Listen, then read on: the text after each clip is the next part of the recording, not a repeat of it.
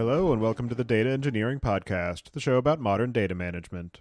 Imagine catching data issues before they snowball into bigger problems. That's what Datafold's new monitors do.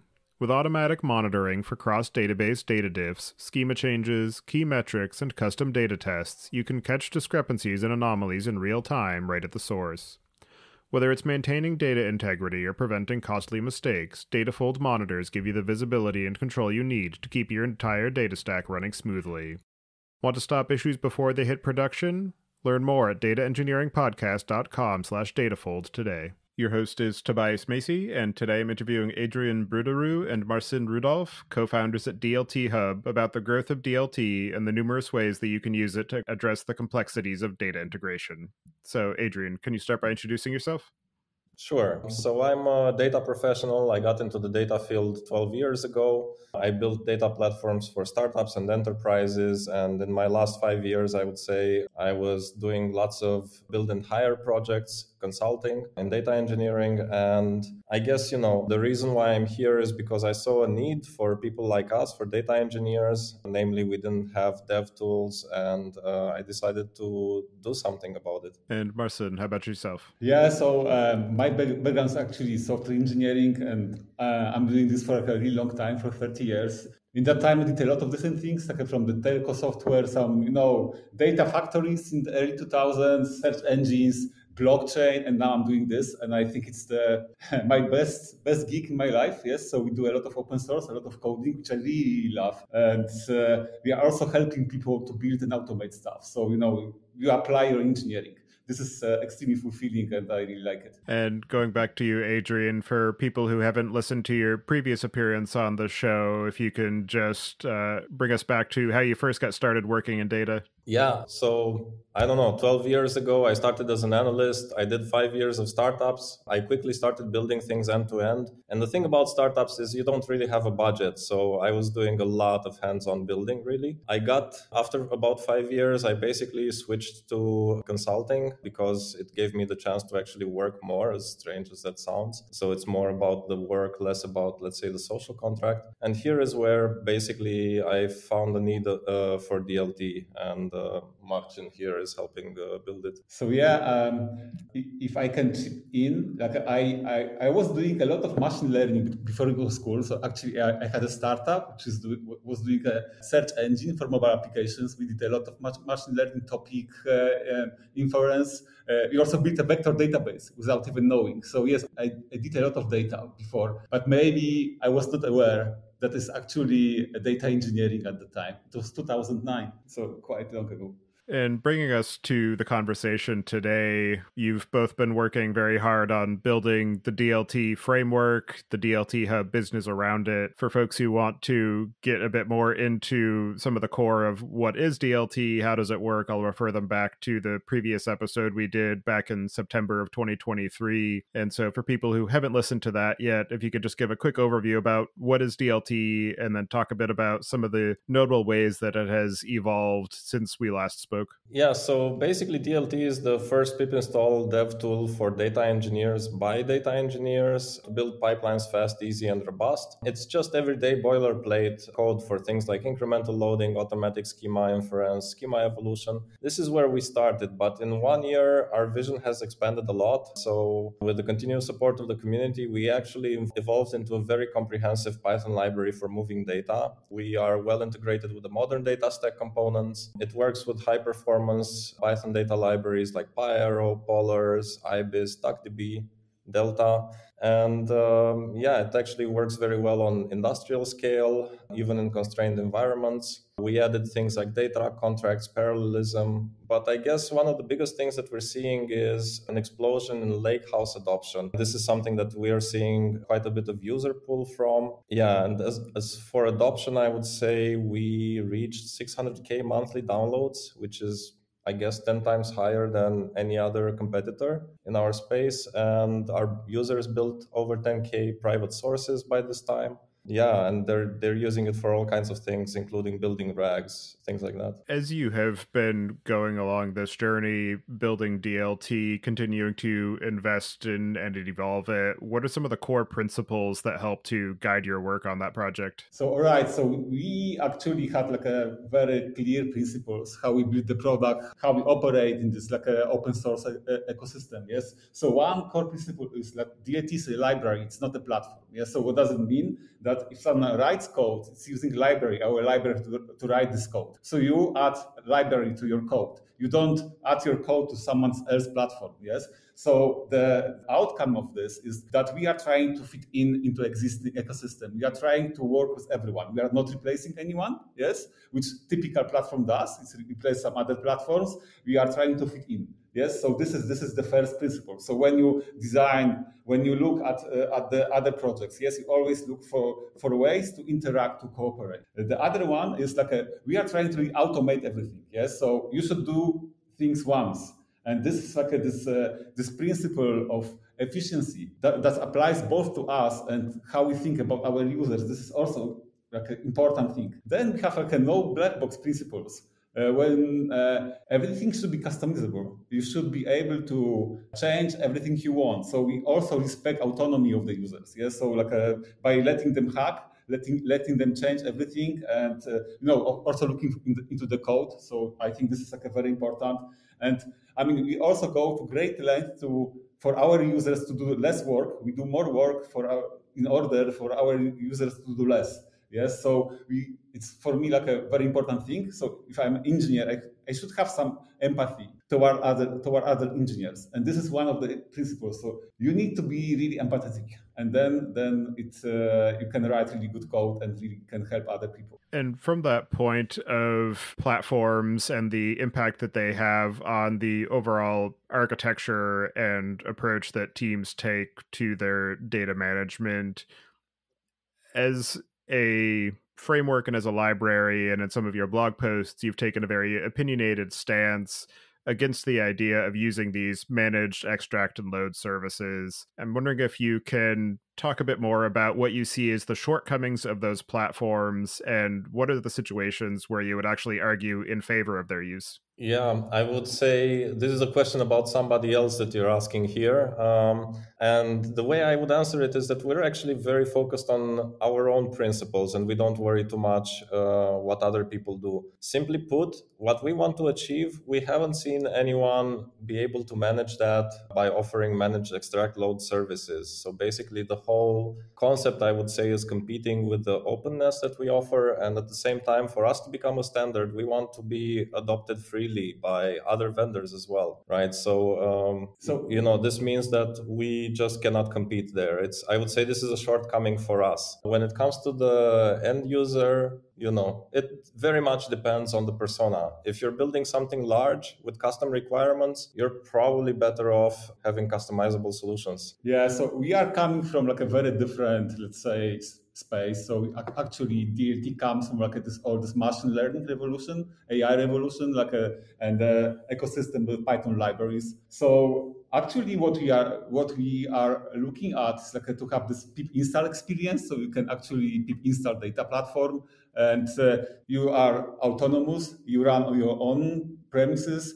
it's often local workflow or single machine workflow so actually we are quite orthogonal to this thing that you call managed services we are trying to follow very different patterns yes very different usage patterns very different workflows that are possible for this python ecosystem and impossible for the uh, managed solutions. And of course, vice versa.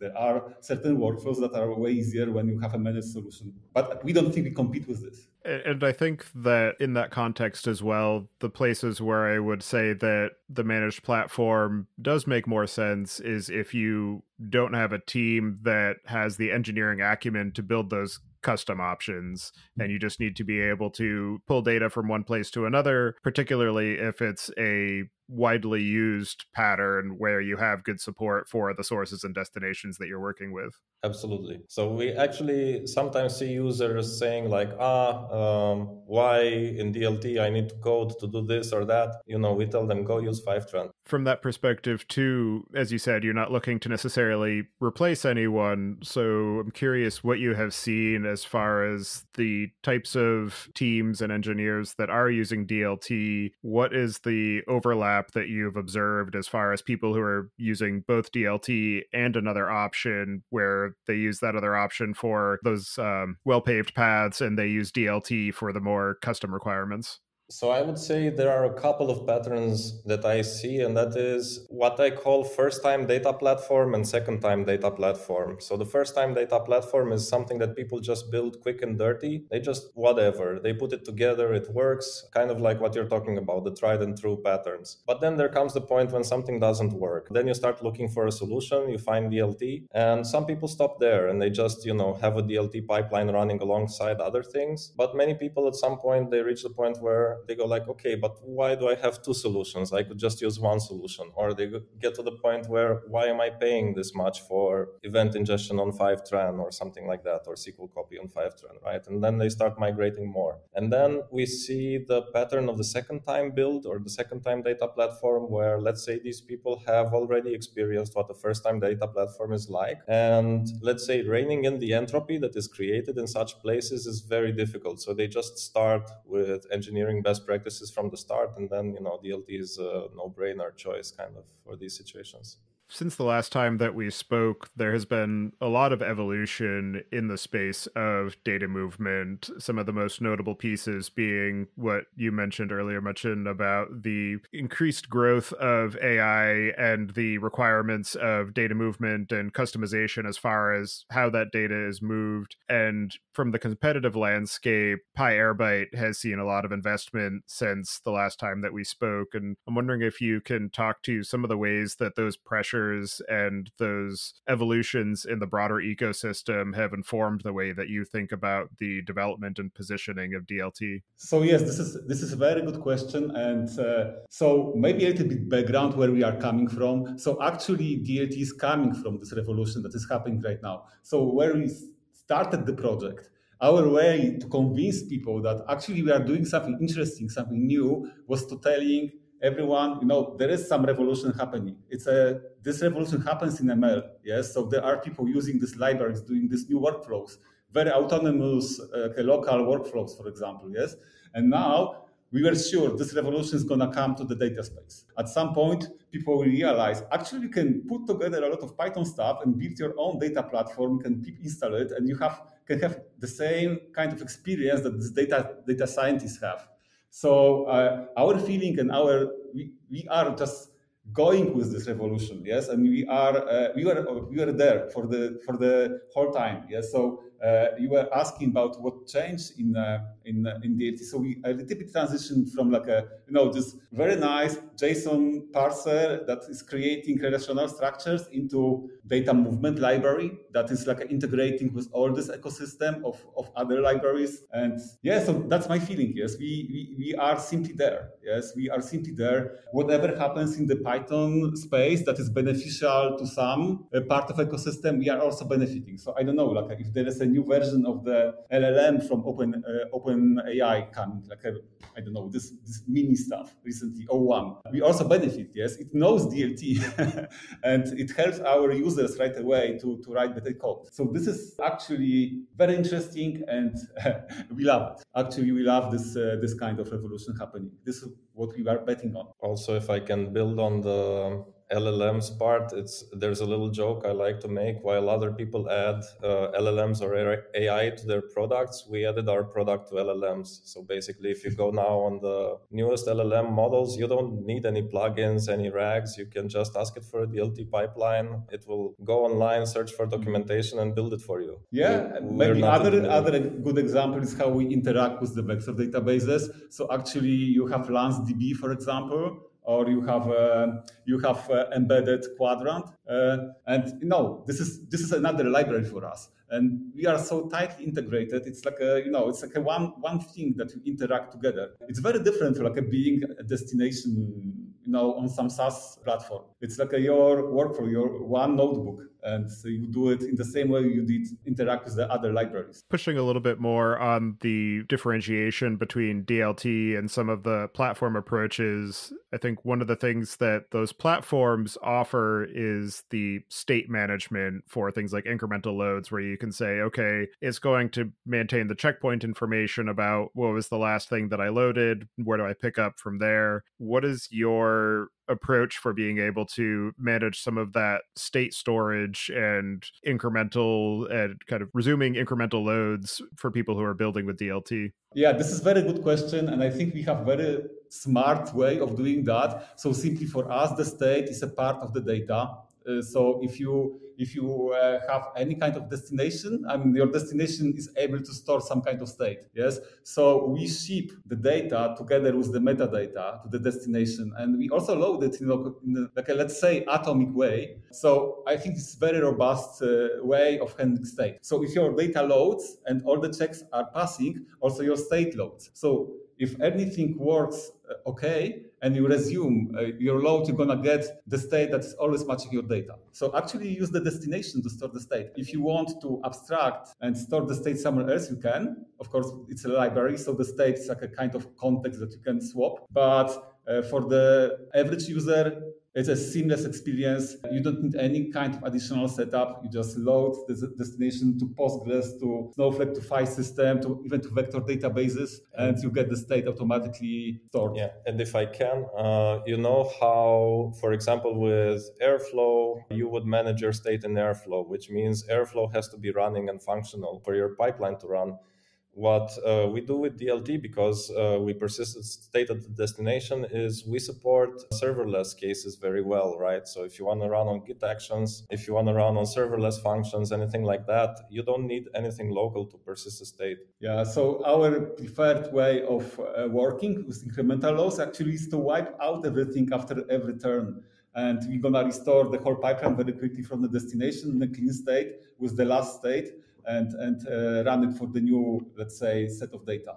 You mentioned also the growth and evolution of the Python ecosystem and how, because you're just a Python library, you get to benefit from that as well. That ecosystem has also seen a lot of growth and investment, particularly in the data oriented set of libraries and frameworks. So I'm thinking in particular a lot of the Rustification with things like the Data Fusion library and PyArrow has seen a lot of growth and investment. And I'm curious if you can talk to some of the developments in that overall ecosystem of libraries, frameworks, and the Python runtime itself that you have been able to benefit from and you're most excited about? Yeah, so um, this is really interesting question. So probably you need to stop me at some point because there are so many libraries that we are like integrated to work with that you know I can I can yeah go for a long time. But we see a few trends uh, if I can group them. So one trend is like a single node or like a single machine computing and uh, portable data engines uh, like a, a or this data fusion stuff or, or, or even LanceDB you could call it data engineers. Uh, then we have open storage formats and associated libraries like a, you know, PyIceberg or uh, Delta RS. And uh, we also have a really, I love this development with the Arrow uh, and PyArrow. So it's like a, you standardize this in-memory table, uh, table format and also compute. So, so this, those are the trends that I see. And now, if you go through this, uh, we of course have uh, um, have um, DuckDB, yes, we, which we use everywhere. Like uh, it's first of all, it's a way to onboard our users to give them this, this, local experience that doesn't need any kind of credentials. They can try everything. They can produce, they can develop locally. It's improving the uh, developer experience so much that it's, it's hard to explain is how, how much change it was for, for us when DuckDB appeared. Yes. Then we have, uh, of course, I mentioned Arrow. Uh, I mentioned Polars. Uh, pandas and all this like a way to work with the ta- tabular data. So those are primary citizens for us. So we can load them directly. Everything that works for you know, like a dictionaries, like a, or JSON, works also for them. Incremental loading, SCD2, uh, merges, and so on. So it's like a native citizen. Then we have these libraries for the open uh, um, table formats, and uh, we actually use them a lot. Uh, we built uh, um, Delta Lake using Delta RS serverless. Um, we have some big uh, deployments already in production. And there are some other libraries, so maybe less mentioned, but super important. And I think they really show how much you benefit by being a part of the ecosystem, by trying to fit in, not to replace. Yes. So even if you look at, as, as, uh, at something super old like SQL Alchemy, uh, we recently added SQL Alchemy destination and, uh, and, uh, and a source. And now you have like hundreds of the databases. And you know, we put some work to do the merges, CD2 and incremental loading. And you know, the, uh, even obscure databases are right now supported. So I could enumerate a lot. We benefit from SQL Glot, and we benefit from fsspec, which is like abstraction the file system, a lot from Pydantic, for example, to create data contracts that actually people understand from other work. That's that's really like a you know, there are libraries for entity recognition that we use to put the data contracts that are actually for the PII data. I don't know, like a spaCy, yes, that you can detect all the all the entities that are PII or Microsoft Presidio. Yeah, I agree. It's very easy to wax poetic about all the interesting things that are going on in that space. So it's definitely great to see the amount of investment and integration that you've done. Yeah, and this is I I must say this is super natural for us. Yes, so uh, it's not that we are doing this integration for the integration's sake. We see a value coming from that. We see how this works together, and it's like a multiplier. Yes, we are not adding, we are multiplying. It's one of our, let's say, core principles on that point too of being able to customize and build all kinds of use cases around DLT. One of the things that helps most with adoption for a project like DLT is the overall developer experience, the onboarding. I'm wondering if you can talk to some of the notable investments that you've made in that user experience of building with DLT, composing pipelines, and some of the ways that you think about the interfaces for source and destination development? Yes, so I mean, we are by nature very close to the code. Yes, we are library, so interact with the code, and I think that it's our DNA to make this uh, make this development experience easy. Yes. Uh, I'm a software engineer, so I also like a, I'm trying to keep this uh, thing good for people that want to build, that want to uh, want to write code. So I mentioned this DuckDB thing. It's like improved a lot the onboarding. Yes, like it shortens the time to learn stuff. You can ra- uh, run all the examples. You can get into into things. You can even really very quickly build your local, very quick and low latency environment with DuckDB and use it for, for testing. We put a lot of attention actually for our destinations to all of them behave in the same way. There are like thousands of tests that we wrote to make sure that every destination, starting from the vector databases, even into like a Parquet files on a bucket. From the point of view of our users, they behave in the same way. They're gonna have the same schemas. You can, if, if DBT is supported for this destination, it's gonna be the same, you know, set of transformations. So you can develop locally and then run the same code on CI and then deploy it. Yes, and this is really good for data quality. Yes, because you can test it. There are many other mechanisms like that. Uh, like we are pretty strong software engineering approach, as, as, I said. So we really pay a lot of attention to uh, to follow this Python intuitions. Yes, to not reinvent new stuff, but to use actually existing building blocks. So, for example, all our sources are generators. Yes, like a Python generators. And you don't need to create some obscure object model. You, people know it. Yes, they know what they are and they can use them right away. The same like destinations. You can now build your own destinations that are like things that, that consume data. Yes, so you use this something called Python decorator. You just decorate a function and you have reverse ETL uh, thingy that you know took you maybe one hour to, to produce. So now we are like a little bit coming to, to the second part of your question our investments into sources and uh, destinations. We actually built a very interesting thing, like a really good support for uh, creating REST APIs, pipe, REST API uh, pipelines. We have like a support for like imperative mode when you write code uh, with paginators, authenticators, and so on. So it's like a low-level toolkit. But there is also higher level toolkit, like a declarative mode. And it's combined with the uh, code generation tool, which is converting open API uh, definitions into direct into pipelines and datasets. But actually, you, de- you, declare what you want. You build your tree of we call it resources, and very quickly you can define your pipeline and just run it. Yes, so we, know that people love it. We get, uh, are getting a lot of feedback. We see hundreds of those in production. Yes, so actually, that was like a, our big achievement. We did similar things for like a database and file, file system sync. We standardized this. Uh, we let people declare tables, uh, databases, combine them, and very quickly uh, create pipelines that know, sync databases. I think this is the most popular source, okay, is database right now. Yeah. And I mm-hmm. would say REST API is the second one. And I want to put a particular emphasis on this one because it was built with lots of, let's say, community pool. So the REST API declarative source is just a Python dictionary. And it was originally, you know, somebody donated to us some code where they had a take on this, so we used it as inspiration. Then uh, we had more people from the community basically asking that we build something like this, and eventually we actually built it with community members. Right, they did like half the work, I guess, and uh, it's uh, it's literally our second most used source, so it's a big success. Yeah.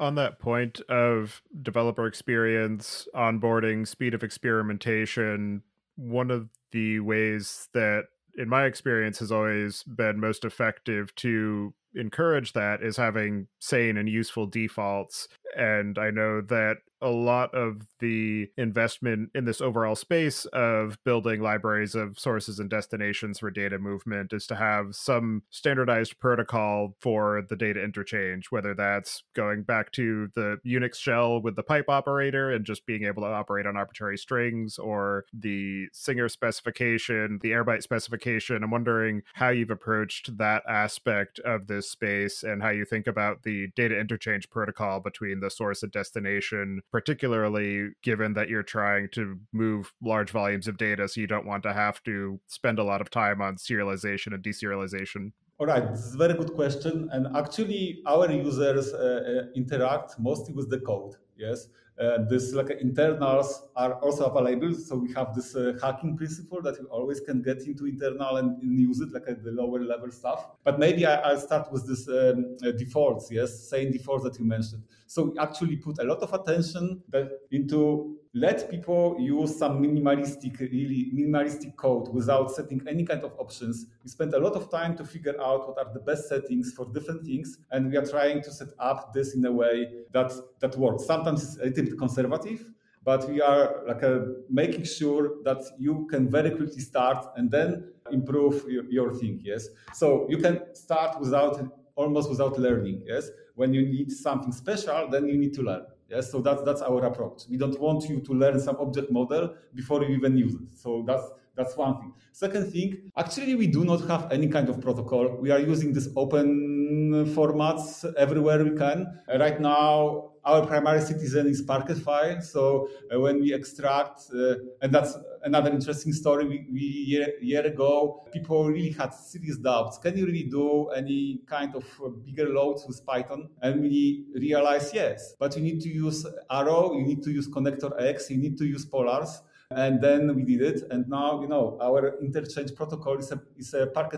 And uh, uh, internally we form simply like a you know repositories or Parquet files with a manifest which is a schema that can be a YAML file can be a pydantic model whatever people uh, prefer and this is being exchanged between different stages among different stages of DLT. Yes. So the last stage is a load stage. It's a destination, and it looks into this. looks uh, what is the schema and loads the Parquet files into into the uh, into the destination. Yes. So ideally, we are not doing any. If you are working with the arrow tables, you can we just save it once and then pass it to the load stage and it's not deserialized. It's deserialized by the engine at the end. So I would also try to answer this in a way that data engineers would relate more easily, maybe.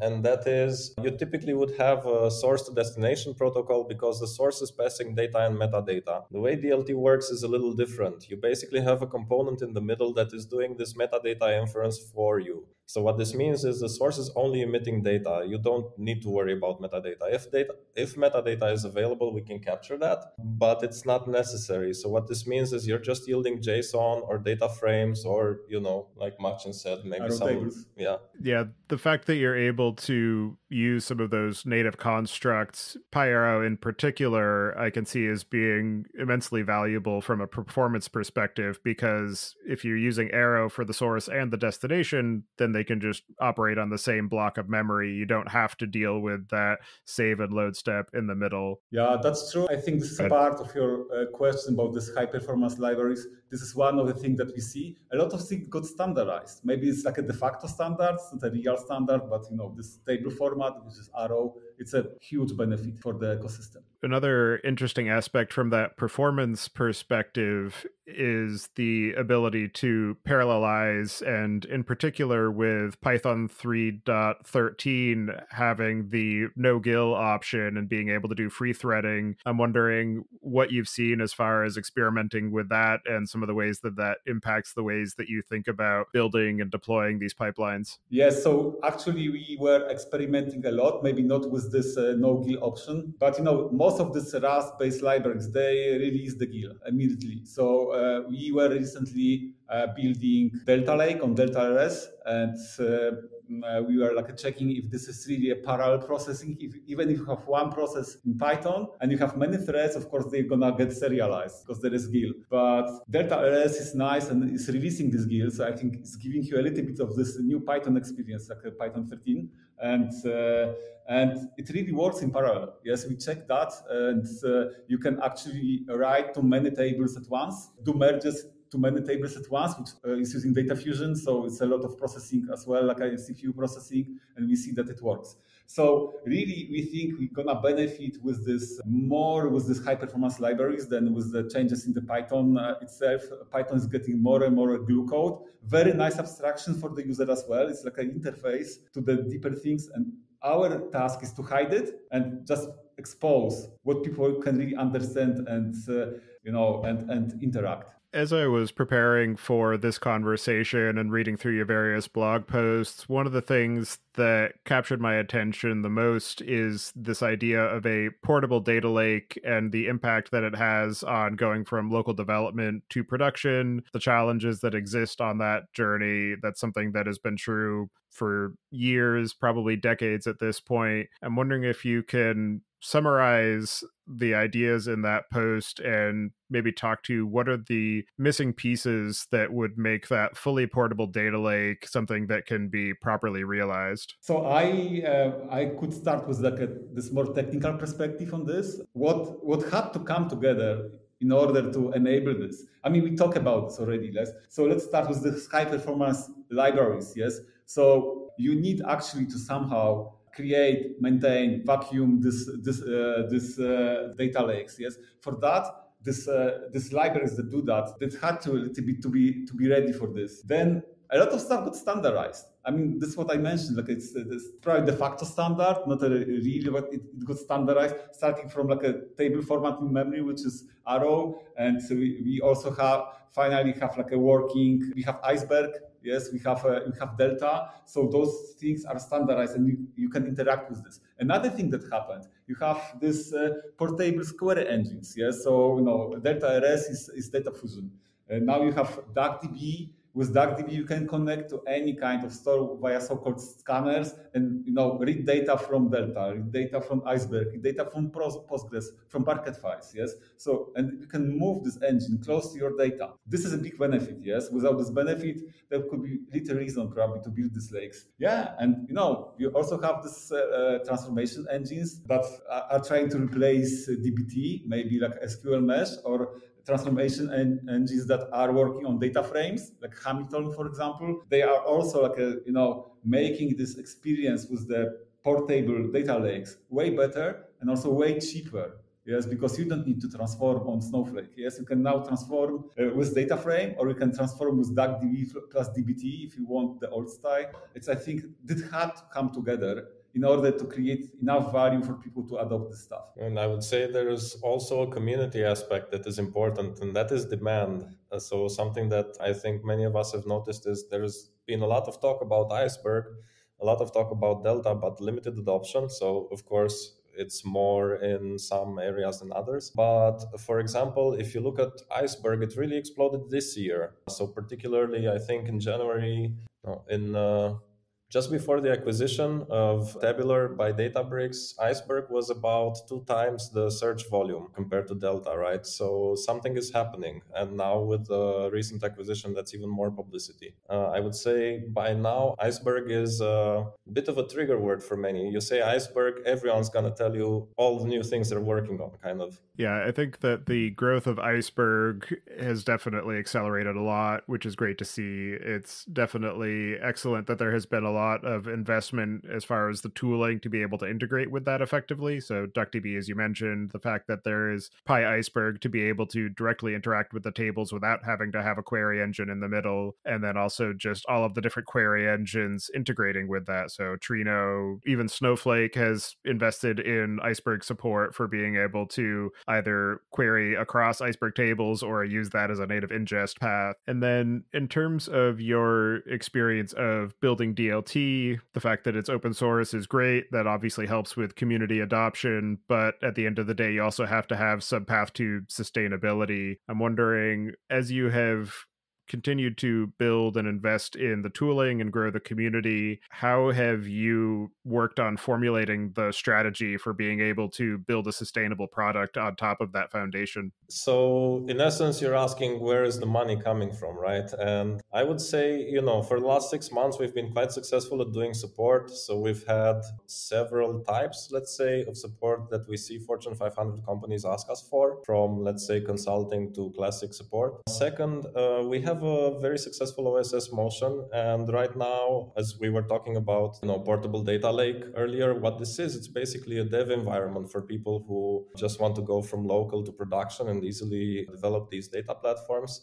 And right now we're uh, in design part- partnerships with uh, multiple customers and we're building this together. And uh, we can see in more detail that there is this movement in the market towards open compute. And we think this is something that will be ready for very soon. Yes, we learn a lot from what our customers are building as well. Yes, so uh, you can actually build a lot of things on top of DLT as a library. Yes, so and that's this where we go product wise, observing and building, reproducing certain solutions. In your experience of building the project, working with end users, and growing that community, what are some of the most interesting or innovative or unexpected ways that you've seen DLT used? Yeah, so actually, actually, this is a really good question. Yes, uh, our users are extremely smart. Yes, they are extremely smart.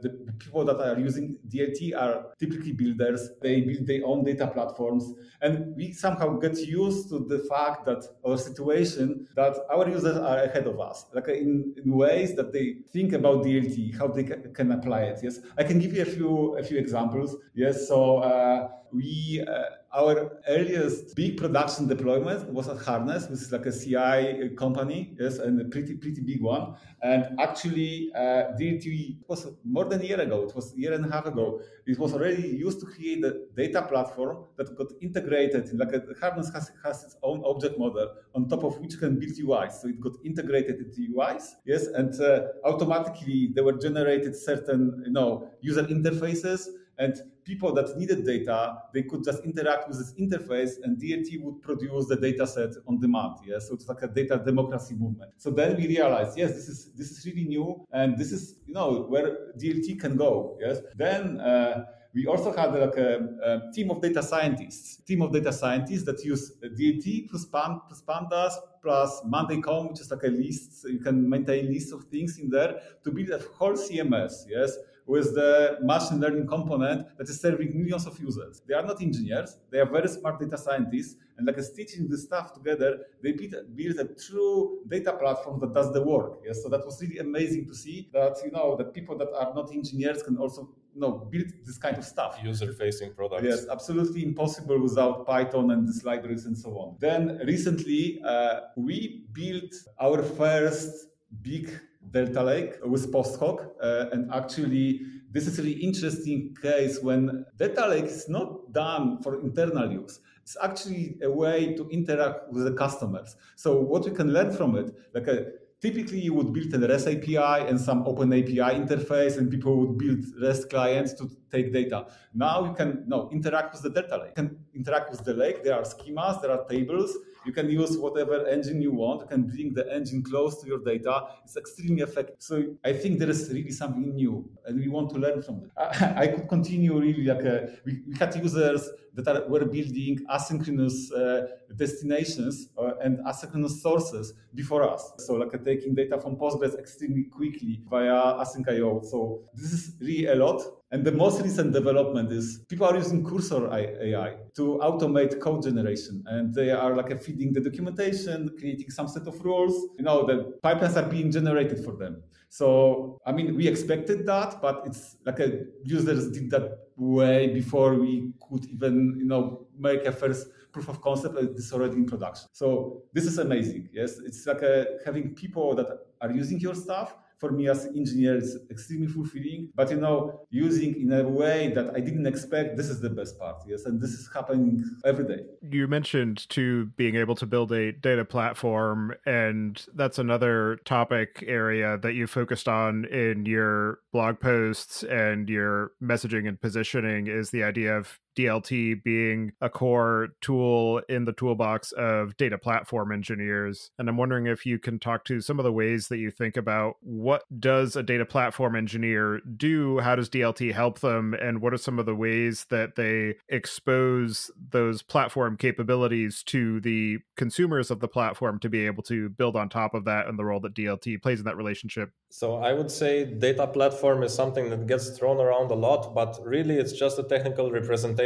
of a data stack, be it a data warehouse or a data lake or whatever you're doing. Basically, where this uh, data platform engineer role is new is that what they're doing is they're enabling other data people do their job better. So basically, they put together systems that essentially create ways for data developers to create pipelines faster, easier, cleaner, let's say boilerplate code all kinds of things right? From governance to engineering. And yeah this is what we basically observe all the time. So i mentioned this like unexpected things that happens. And the pattern that we see is that people are building we call it like a data platforms in a box that uh, that are like a a way to, to bundle certain entities that you can create with DLT. So, you know, sources, destinations, data sets, schemas, contracts, all together, create a package, yes, which can be you developed locally on DuckDB, but deployed on CI on some you know, test uh, environment, and then deployed by the infra people. They can hand over the same package to the infra people, and they can deploy exactly the same thing to the production environment. Yes, so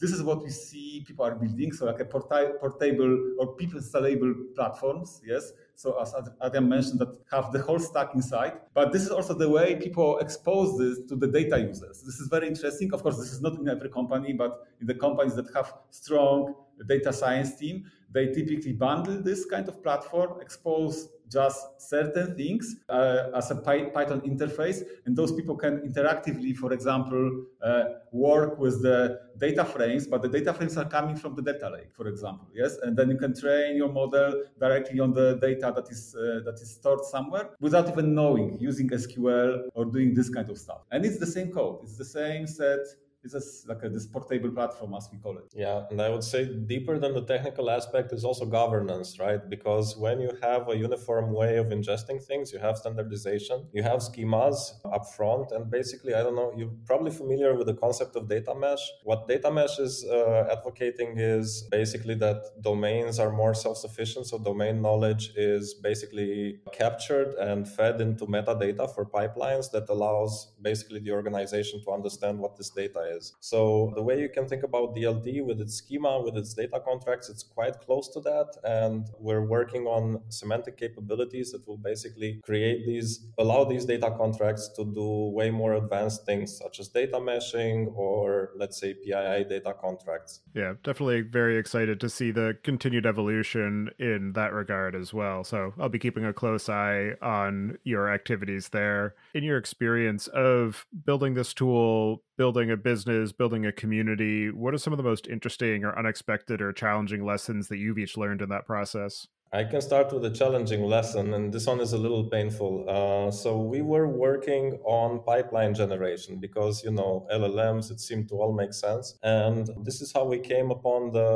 OpenAPI init. So the challenge there is that you have a number of, let's say, pieces of information that you need in order to generate a pipeline, and if you are using an LLM to guess them, then the error rate will compound. So essentially, by the time you have a finished pipeline pipeline, it's probably not working. So we realized this approach, basically the technology is not there for it. So we went down an algorithmic path. So we figured, hey, we have almost everything in OpenAPI. We can infer the rest. And what cannot be inferred can be manually tweaked by the user. So we created this generator that basically scans an OpenAPI spec and uh, creates a REST API source from it. But nobody cared. So we were expecting, you know, that maybe people that are working with FastAPI that basically actually use this uh, standard or maybe people from the community but literally we we couldn't find people who care yeah and that was a little bit unexpected yes because yeah. like a, from the technical point of view it's like an amazing thing yes you have information you can uh, create some kind of thing automatically but actually people prefer to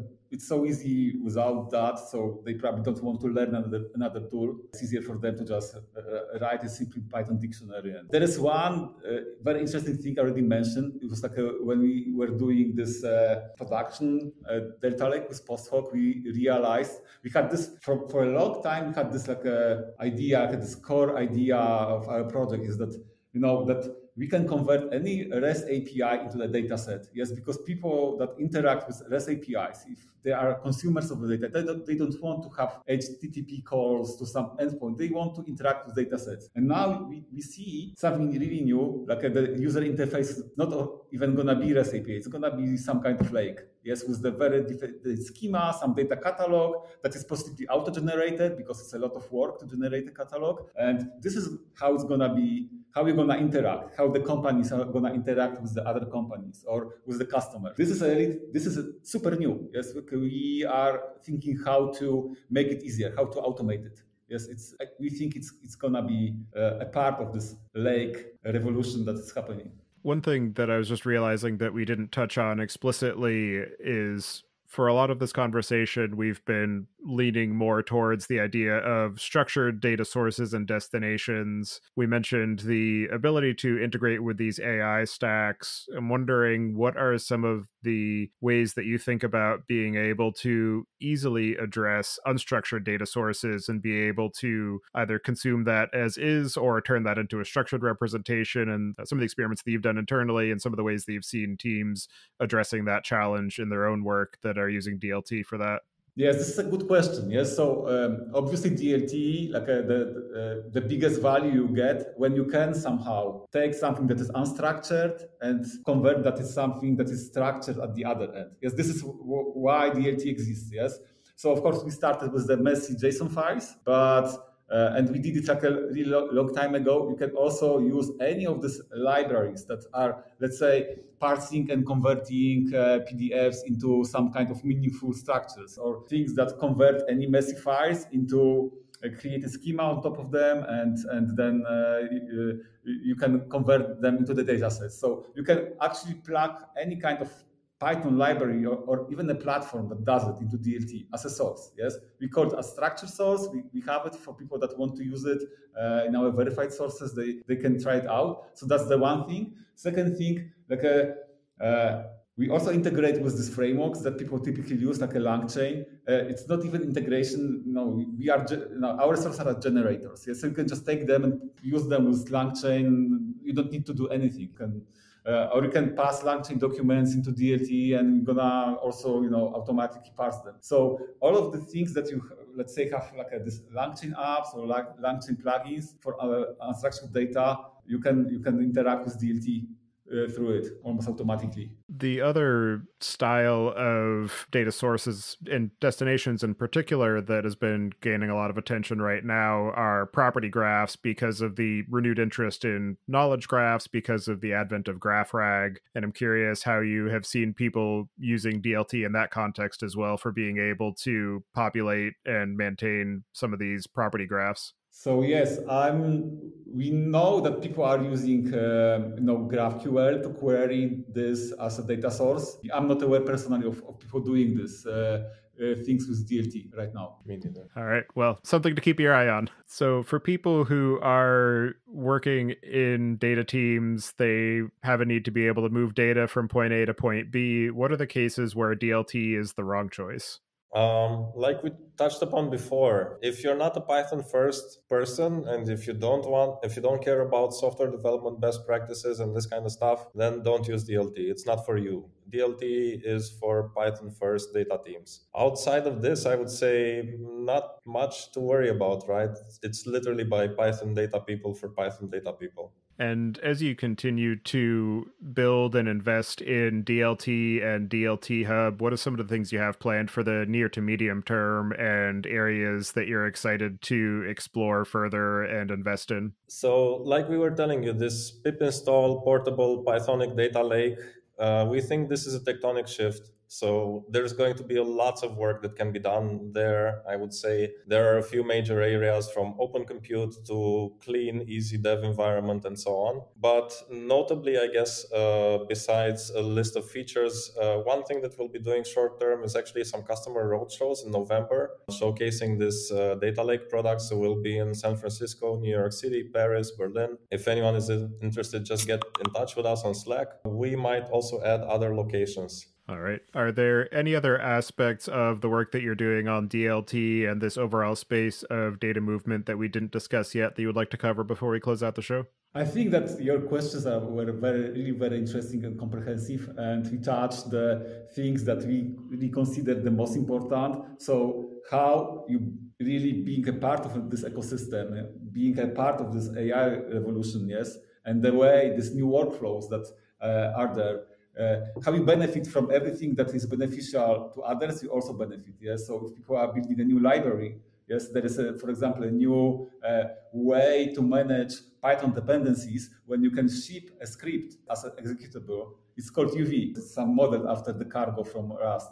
And now we are using this for a few days, and it's amazing. And it's adding so much power to the, the product that we are building when portability, pip installability is important so I'm, I'm no, I'm amazed by this ecosystem simply and this way of, of doing stuff. I'm not sure this is uh, DLT related. It's more like a, being an engineer in, in the space for a long time and seeing this kind of thing working it's it, this is this is really fulfilling. Absolutely. Well for anybody who wants to get in touch with either of you and follow along with the work that you're doing i'll have you add your preferred contact information to the show notes. And as the final question i'd like to get your perspectives on what you see as being the biggest gap in the tooling or technology that's available for data management today. I wouldn't say it's a gap that we have today. I would say it's a shortcoming that is coming from the way we design data stacks. And it's uh, maybe here to stay maybe one day it will move away. But uh, i think the biggest problem that we have right now in the data space is the lack of interoperability of tools right and uh, the fact that when you're building a data stack, you're literally just human middleware stitching together some technologies, and uh, you know your documentation is probably going to be a little bit outdated. There's gonna be gotchas. There's going to be all kinds of things that maybe other people stumbled into, uh, and it's your first time. But essentially, if you look even at the way tools interact, they interact by looking at data in a database. This doesn't have metadata which means that the amount of things that you can do with it are by nature very limited. And I think once we can get away from this concept that metadata just needs to be added to every tool or created every time and we only move data around, a major change can occur. Before this, I think, you know, we're just all stitching together vendor tools. Well, thank you both very much for taking the time today to join me and share the work that you've been doing on DLT. It's definitely a very interesting project. Definitely excited to see the ways that it's evolving. Definitely going to be playing around with that and experimenting with how it fits into some of my new projects that are coming. So appreciate all the time and energy that you've both put into that and the rest of your team. And I hope you enjoy the rest of your day. Thank you. Thank you. Uh, thank you for having us and have a great day as well.